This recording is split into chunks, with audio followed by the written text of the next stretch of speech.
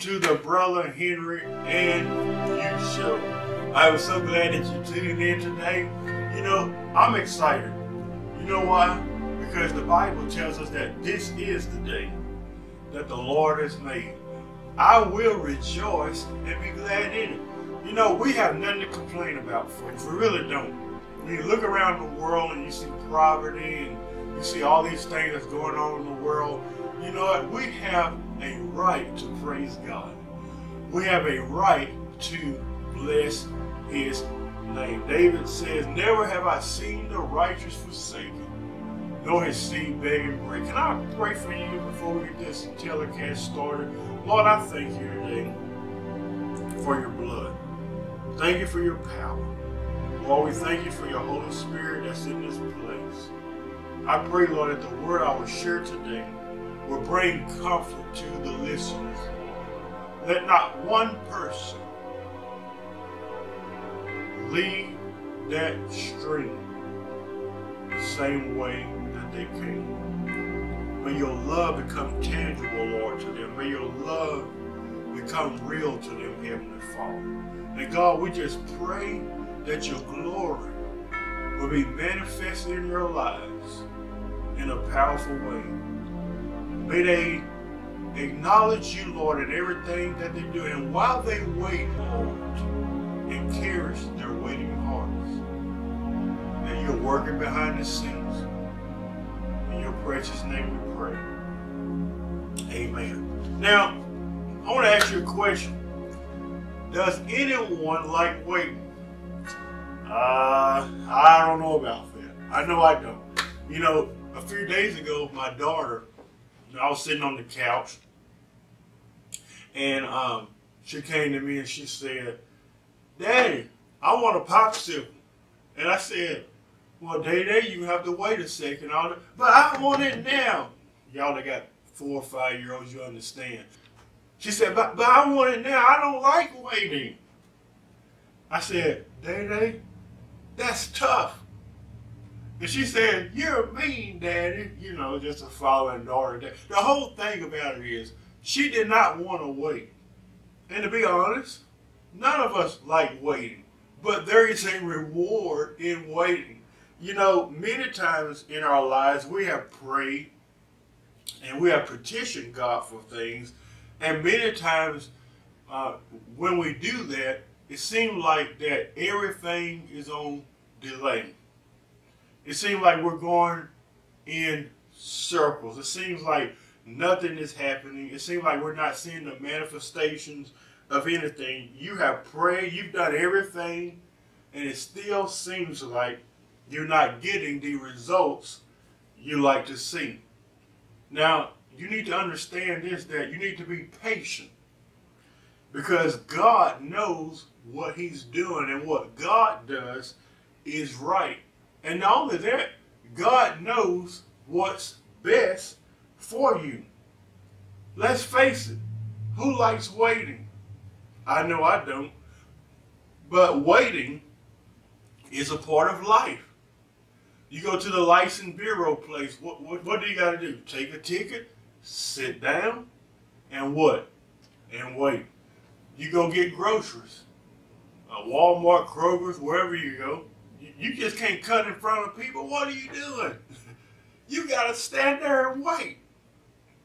You go to the doctor's office and you check in. They're going to tell you to go sit down and wait for the, the, uh, the doctor to call you. You have to wait. Nobody likes doing that. You know, just here recently, I went and got blood work done, and everything came back great. But I hadn't been to the doctor in a while.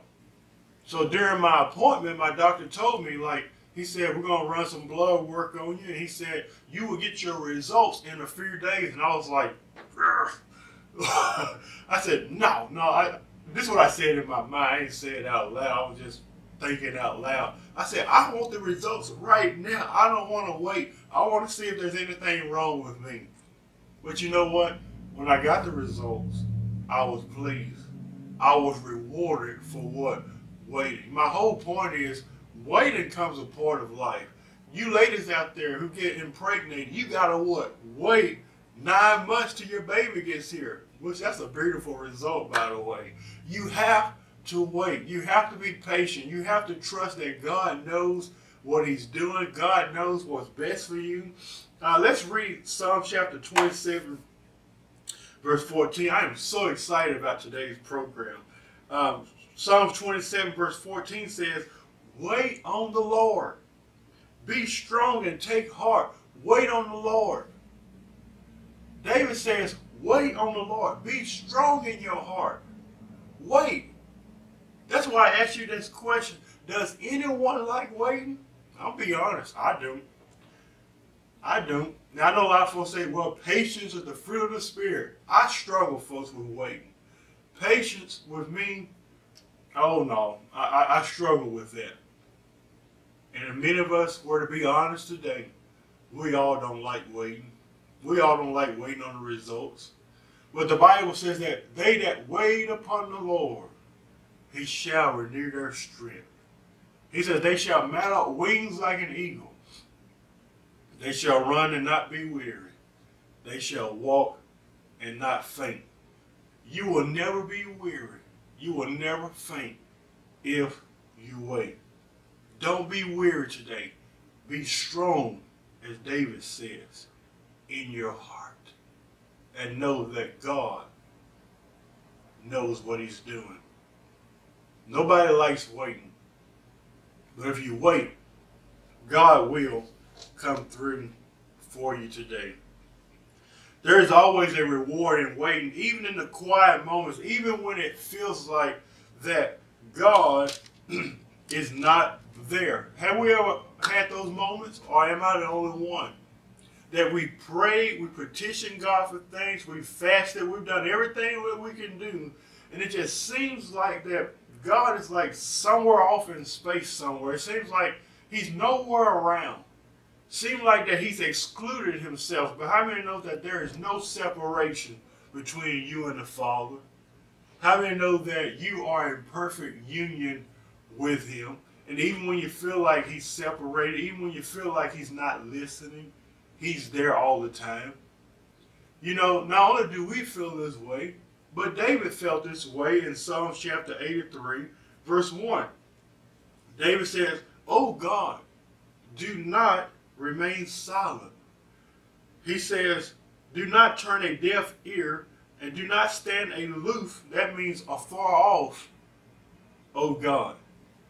So there have been times, even in my walk, where I felt like, God, you're standing afar off. It seems like you're silent. It seems like you're turning a deaf ear to me. But the truth is, He's right there. The truth is, He has not turned a deaf ear. He's listening to me. The truth is that while I think that He's silent, God is there all the time. It takes faith to believe this. That when you don't see the results right away, when you don't see the manifestations unfolding in your life right away, you have to have faith and believe that God is working on your behalf. You may be facing a dead end right now. It may be financial, it may be spiritually, it may be emotionally. But if you wait and keep moving in faith, God will come through for you. Speaking of faith, let's turn to Mark chapter 11, a very familiar passage Mark chapter 11, verse 22 through 24. Now, Jesus started out with these powerful words. He says, Have faith in God. Jesus answered, Truly I tell you, if anyone says to this mountain, Go throw yourself in the sea, and does not doubt in their heart, but believe that what they say will happen, it will be done for them. Therefore, I tell you, whatever you ask in prayer, believe that you have received and you will have. There are three things that we're required to do. Number one, you have to have faith. The God kind of faith. That Christ faith that's operating through you. It's a fruit. Number two, you can't doubt. Now, the enemy will come to you and say, God is not listening. You know, God doesn't care. You know, God got better things to do. The enemy will come to you and he'll try to sow seeds of discouragement in your heart, but you have to be strong in your heart. As we just read, you have to be strong. You have to know that God knows what He's doing. Don't allow the enemy to sow seeds of guilt and discouragement in your heart because doubt can sometimes be the barrier with us not receiving the things that we need from the Lord. Doubt can sometimes stop that. Number three, believe. Have faith, don't doubt, believe. Lord, I believe. I don't see the manifestations. I don't see the results. I don't like waiting. but God, I believe. I believe you know what you're doing. You know what my grandma used to tell me? She says, Henry, when you take something to the altar, you leave it there. But here's the problem. Many times we leave it there and we pick it right back up and we take it out of the door. What am I trying to say? Whatever it is that you're petitioning God for, whatever it is that you're praying for, leave it at the altar, leave it at your place of prayer, leave it there. Let God handle it, no matter what it is. Let Him take care of it because He knows what He's doing and He what He does, He does best. Now, when you're truly operating, when you're truly operating in now faith, you will believe God above your circumstances. When you're truly operating in what we call now faith, your faith will become so real in God that it will surpass your circumstances. Your circumstances will no longer matter because you know God is going to take care of that. Faith declares that I have already received, even though, listen to this, even though I have not seen the results yet. That's what faith declares. It takes faith to do that. Now faith is the substance of things hoped for. The evidence of things not seen. Sometimes we want to see our miracle. We want to see our blessing. We want to see our financial breakthrough. Many times you have to tap into another world. And what I mean by that is the world of faith because faith sees the invisible, believes the impossible. Faith says, you know, I believe that I'm already prosperous. Faith says, I'm already blessed. Faith says, God is going to pull through for me. Now, I asked myself this question. I said, why am I not seeing the results that I would like to see in my life? Why, why am I not seeing these things um, unfold in my life? It could be three reasons, but not limited to these. Number one, is it in alignment with God's will? Many things we pray for, let's just be honest, we really don't need. Oh God, bless me with a husband, bless me with a wife. But you are emotionally unstable. You don't even know how to handle yourself. You are an emotional wreck. You don't even know how to handle yourself, and you're praying, oh God, bless me with a husband or a wife. He's not going to do that. You got to get yourself together, and the Holy Spirit will help you with that. But you got to get yourself together if you're talking about getting married or jumping into a relationship. That's not going to be in alignment with God. Now, is it a beautiful thing that you want to get married? Uh, and I'm just using that for an example you know, uh, it's great that you want to do that, but if, but if God sees that you're not ready, that's not going to be in alignment with His will. Oh, God, bless me with a new car. And you can't even afford your rent. That's not going to be in alignment with His will. Why would He? Why would God bless you with a new car and you're always late on your rent? You have to be a good steward of your money first. Number two, will it build me or will it break me? Sometimes things don't happen because God sees down the road. He sees the end result. He sees that what you're praying for and what you're desiring is not going to build you in the long run. It's going to eventually break you. And sometimes, and I thank God for this, sometimes I believe in my heart that sometimes some prayers may not be answered because God sees that it's going to hurt you down the road. Number three, Maybe it's something that God sees that you cannot handle at this current time. Maybe something you're praying for that God just sees like right now you just you're simply not ready for it. It's, you're not ready to handle it right now. You have to understand that God sees the bigger picture. He sees the end result. All the things that make you ask why or question will one day be clear in the light of God's love.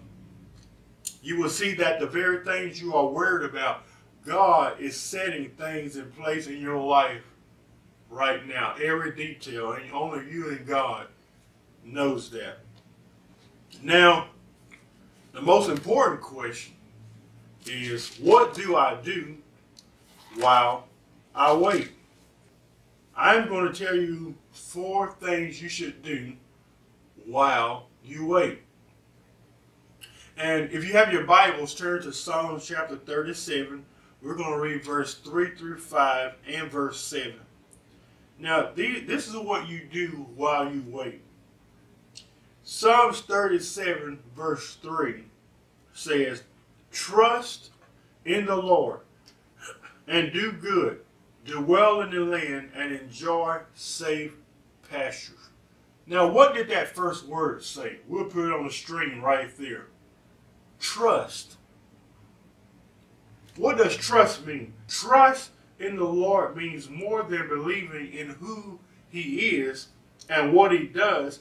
This word actually means to have confidence in. Having confidence in something means having assurance that whatever you have confidence in will lead or take action.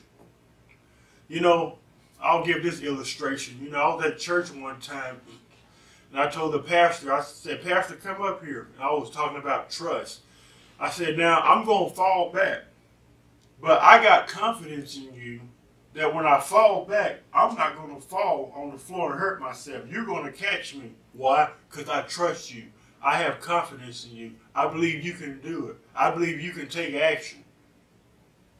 I also gave the illustration that I said, church, when you walked in today, you didn't see, you didn't get on your knees and say, oh, let me check the legs under this table or these benches to make sure it's going to hold me up. You didn't do that. Why? Because you trust that when you sat down on your blessed assurance that everything was going to be okay, that that chair or that bench was going to hold you up. My friend, I want you to know the same principle applies to our life spiritually. That when you fall, God says, I'm going to hold you up. When it looks like your life is becoming rocky and unsteady, God says, I'm going to provide stability in your life. You will never fall when you're in the hands of God. You can never fall from a secure place. And that secure place is trust. Lord, I trust you. I don't know how this is going to work out. It seems impossible. I've tried everything. But God, I trust you. That's what trust is. The second one that we find in Psalms 37, verse 4, it says, Delight yourself in the Lord, and he will give you the desires of your heart. So, number two, you delight. Number one, you trust. Number two, you delight. Delight just simply means that we invite the Lord to examine our desires and intentions, but not only that, but to change whatever that does not fit for his purpose for my life. That's what it means. We invite him to examine our desires and our intentions, but not only that, Lord, change whatever that does not fit into my life for your will and for your purpose. He'll do that today if you believe him. He'll do that today if you delight in him. All you have to do is just delight in him. Lord, I delight in you. Lord, I believe you're going to work it out. The Bible says that all things work together for the good.